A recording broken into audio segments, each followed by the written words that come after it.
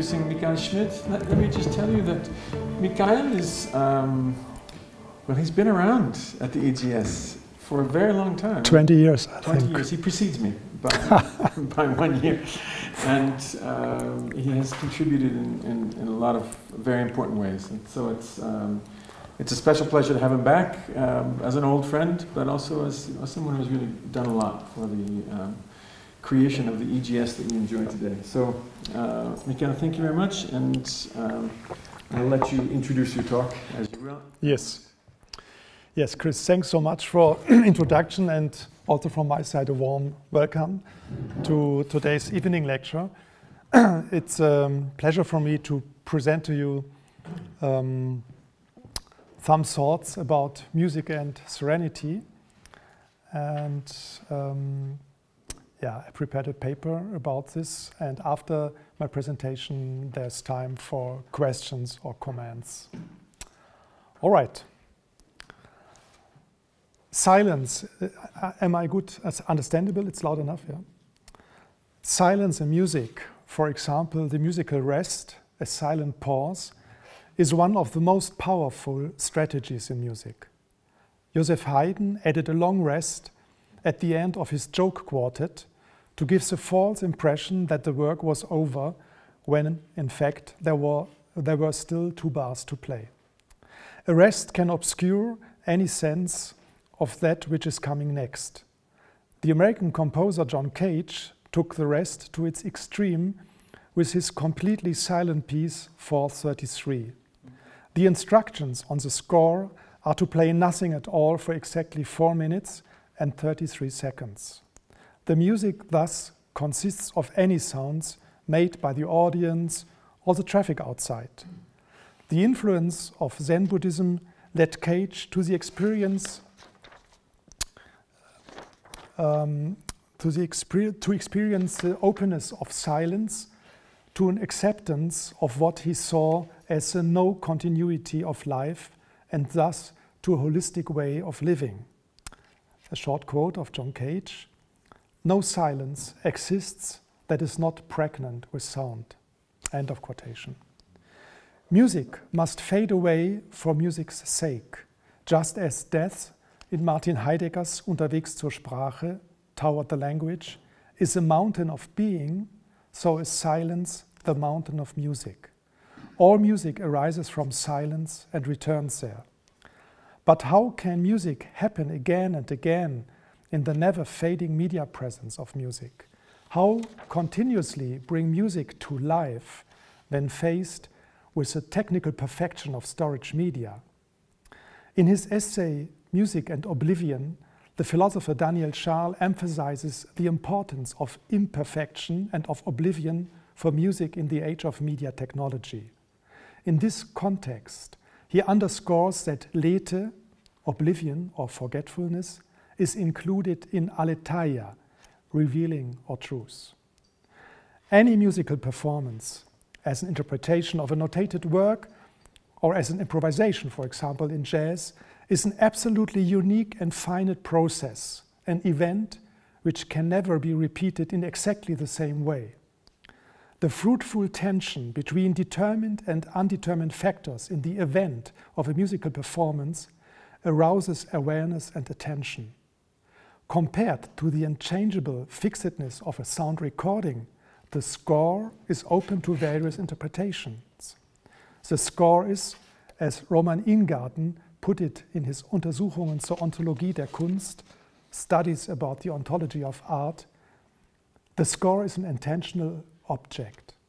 Sound recordings aren't open this way, unless one could change them into material of artistic creation, as in the digital DJ art of mixes and remixes. The composer John Cage opposed the ego centered perspective, intentionality, and hierarchy of Western music its arranging, planning, and controlling. He strove to simply let music be and avoided any intervention. Cage composed by chance operations, for example with the Chinese oracle book I Ching. Again and again, he opened his ears and his mind to the variegated nature of sounds. seeing music as an open process. I quote John Cage again. Many composers no, no longer make musical structures. Instead, they set processes going. A structure is like a piece of furniture, whereas a process is like the weather. In the case of a table, the beginning and the end of the whole and each part and each of its part are known. In the case of weather, though we notice changes in it, we have no clear knowledge of its beginning or ending. End of quotation. Let's take a look to John Cage and the Black Mountain College, an institution where we can see some parallels to EGS. From a very early phase of his career, John Cage was fascinated by the cross genre, interdisciplinary, and open teaching concept of Black Mountain College, which was founded in North Carolina in 1933. The founders were Bauhaus artists who had emigrated to America, where they continued the movement's teaching methods, which were focused on processes and materials. The school had an interdisciplinary approach to the arts and addressed students who unconditionally rejected academic rules and wished to obtain fundamental knowledge on perception and creation to open eyes and ears. The blurring of boundaries between genres, holistic personality development, teamwork, development of social competence, impartiality and tolerance, a love of experimentation, the integration of new scientific and technological processes, and internationality were John Cage's most important topics. At the end of the 1930s, and specifically in 1940 and 41, also during the, the Second World War, Cage proposed the establishment of a center for experimental music at the Black Mountain College. In the summer of 1952, he experimented with monochrome painting. For him, white canvases without color symbolized silence. In this summer, Cage also staged an art event at the dining hall of the college, which became known as Untitled Event and is generally acknowledged as the first happening in art history. It was staged as a multimedia performance whose individual parts film, music, performance, dancing took place in an incoordinated manner. At specific intervals, the, the musicians were allowed to improvise within certain limits. The opportunity space could be filled or remain empty. Everything was possible and able to develop freely and equally. Comparing this spirit of openness and interdisciplinary at Black Mountain College with the spirit of EGS and Saas-Fee, our university could be seen as a kind of White Mountain College, I think. Young, young, avant, young avant-garde composers in the middle of the 20th century, like John Cage, but also Pierre Boulez, wanted to do away with the cult of subject and genius, with the orientation towards expression and irrational or cultic monumentality, with a reliance upon the inspiration of the individual composer. No longer should a musical work express something or reveal the personal style of the creator. When the 1925 born Pierre Boulez met the 13 years old older John Cage after Second World War, this was the beginning of one of the most intense, mutually inspiring composer friendships of the 50s. Since Boulez stands paradigmatically for French clarté et raison of organization, down in the last parameter, whereas Cage represents an anarchic breach with tradition in the name of chance and enmity towards any organization. Different though their compositional principles may be, Boulez and Cage still shared at least two points of departure in their aesthetic thinking. First, there was a basic question of how music was to be created, where sounds were just sounds and thus free of self-manifestation, manifestation, self-expression, style, taste, and empathy, free of trust in the vagaries of inspiration. Second, there was Arnold Schoenberg. Cage had studied with Schoenberg, but his musical utopia of emancipated sounds not only meant to him that all tones were equally valid, but would ultimately also led to a music that is freed from the functional restrictions of tone rows, like the 12 tone row, motivic work, and expression. John Cage's pieces for piano, dating from the 1950s, are the first piano works in which he consistently relied on chance. The only decision the composer made was to draw staves, select clefs, and the number of sounds per page by using chance operations, and to derive the pitches from the surface structure of the paper. What Cage did not decide via chance, he left to the performers. And that will be our first example I want to present to you, only two minutes from this. It is um, John Cage uh, music, yes, this one, music for piano. Please, two minutes.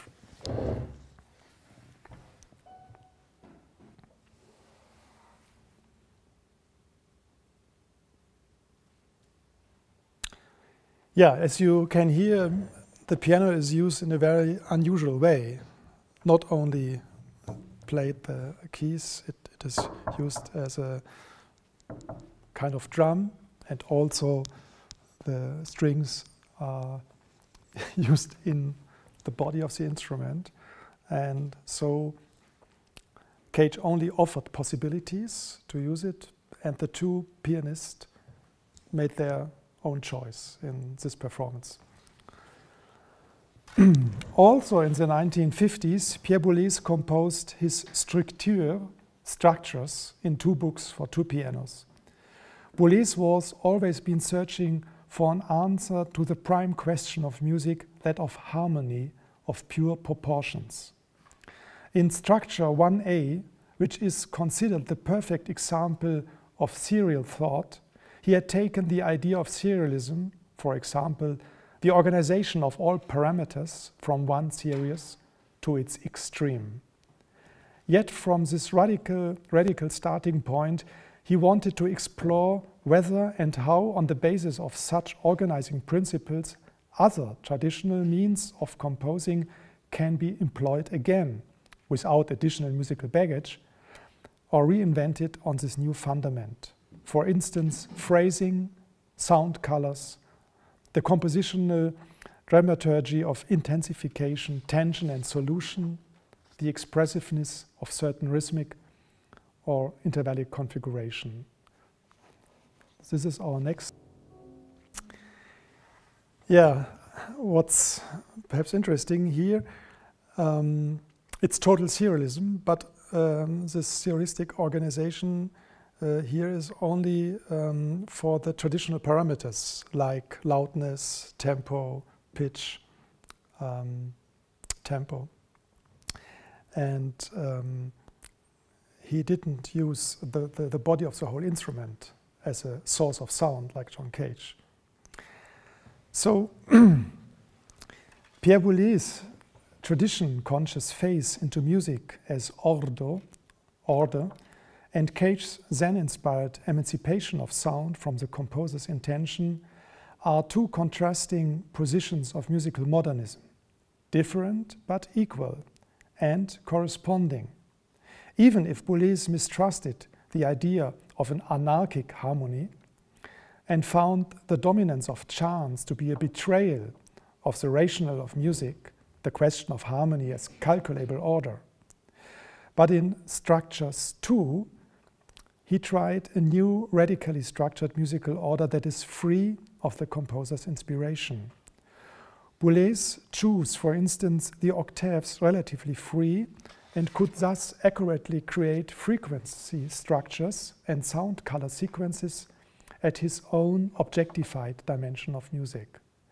Such sets of sound colors, register changes, and figurative gestures realize his alternative concept of doing away with the control of the composer over sound, color, and percussive impact, something he admired so much in some of Cage's works. And for this, our next example from structures 2. Uh, yes, please. As John Cage showed, it would be wrong to separate sound from the aesthetic, conceptual, philosophical, and ethical considerations that the music enshrines. Also, Pierre Boulez was aware of such context. Nothing is only based on the masterpiece, on the closed cycle, on passive contemplation, on purely aesthetic enjoyment. Music is a way of being in the world, becomes an integral part of existence, is inseparably connected with it. Cage wasn't interested in the uniqueness of permanence, but in the uniqueness of the moment. By contrast, composer Karlheinz Stockhausen wanted to freeze the moment in many of his works to make the uniqueness of the moment unnatural, a guarded possession. And one finds Boulez seemingly disconcerted by the impermanence of his sounds, constantly trying to fix them with ever greater precision by obsessive revising, refining, and reworking in the hope of sculpting his sounds into more permanent finality. But the fact that Cage and Boulez represent opposite extremes of making music between the two, two poles, indetermination and determination, is not what is challenging. Challenging is their similarity in the music of both composers, things are exactly what they are, and what is heard is indistinguishable from its process. Let's take a look to minimal music, which also realizes a kind of non expressiveness and meditative flow, and where some parallels to the musical poetics of John Cage can be seen.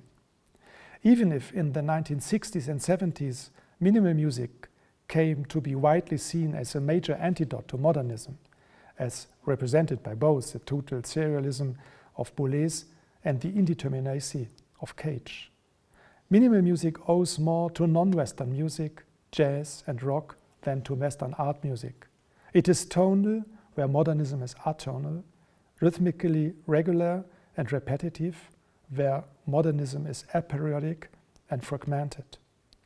But in combining permanent repetition with small changes, with minimal music comes in what Gilles Deleuze defined true repetition as repetition of difference, which takes place in another dimension, a secret vertically, but always intermingled on the one hand with brute repetition, what Deleuze called mechanical repetition of the same, and on the other hand, with resemblance, the grouping of differences under a commonality.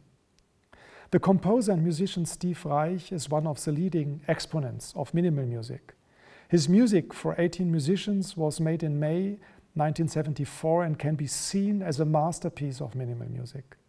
The structure of music for 18 musicians is based on a cycle of 11 chords played at the very beginning of the piece and repeat it with permanent variations until the end.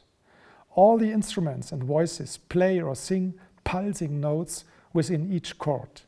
Instruments, like the strings, which do not have to breathe, nevertheless follow the rise and fall of the breath by following the patterns of the bass clarinet. So please, two minutes of Steve Reich.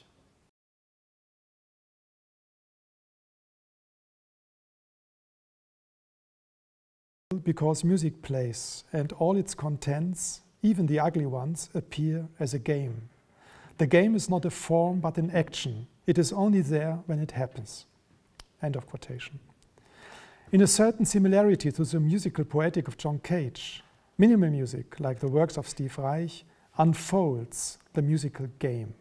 It is a play of difference and repetition, like the French philosopher Gilles, philosopher Gilles Deleuze described it as a repetition of the power of difference and differentiation. In addition, the transformative unfolding of musical figures corresponds with Deleuze's notion of the fold in his writing The Fold, Leibniz and the Baroque.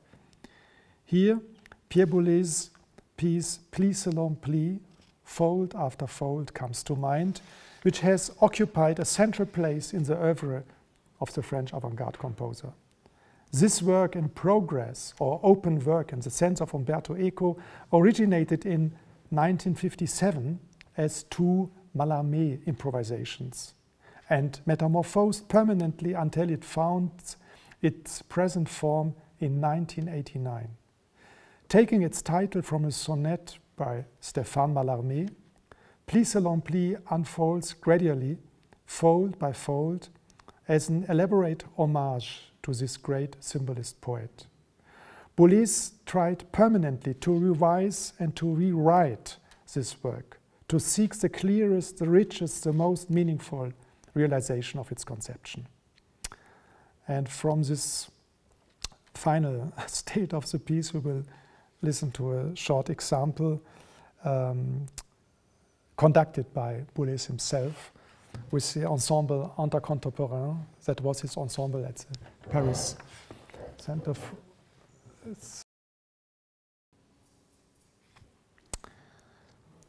Music as a work in permanent progress is like a process and stands with its continuous unfolding into the open. In John Cage's concert for piano and orchestra, written between 1957 and 1958, both specific directives and specific freedoms being given to each player, including the conductor. Cage's intention in this piece was to hold together extreme disparities. The conductor, by his gestures, represents a chronometer of variable speed. The pianist's part is a book containing 84 different kinds of composition, some varieties of the same species, others altogether different. The pianist is free to play any elements of his choice, wholly or in part, and in any sequence. The orchestral accompaniment may involve any number of players on more or fewer instruments and the given performance may be extended or shorter in length. Cage regards this work as one in progress, which he intends never to consider as in a final state, although each performance is definitive. So also a short example, two minutes from the concert.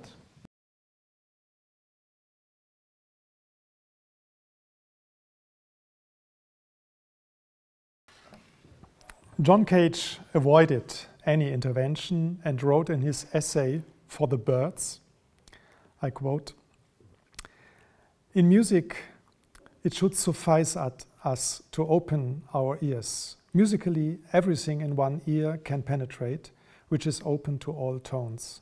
Not only the music that we find beautiful, but also the music that is life itself. End of quotation. Music as an open sound process is not an early form of composition.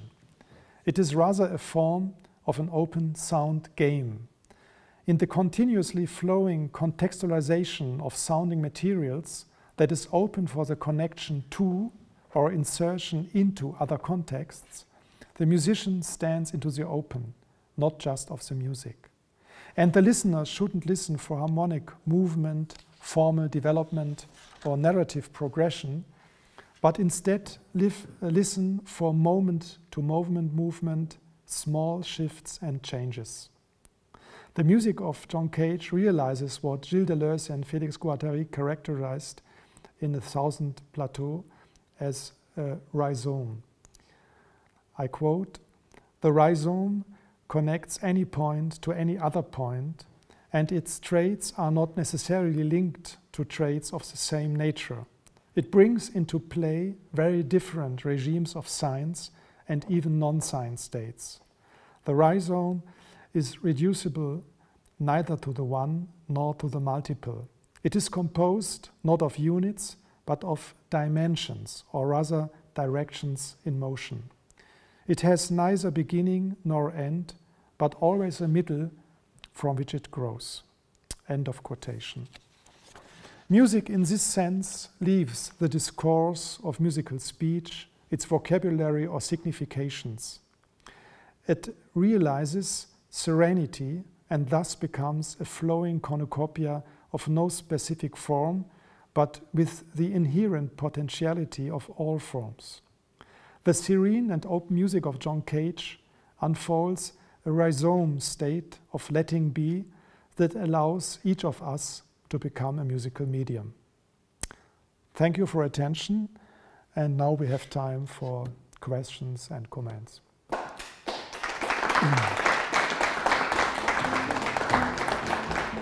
Thanks.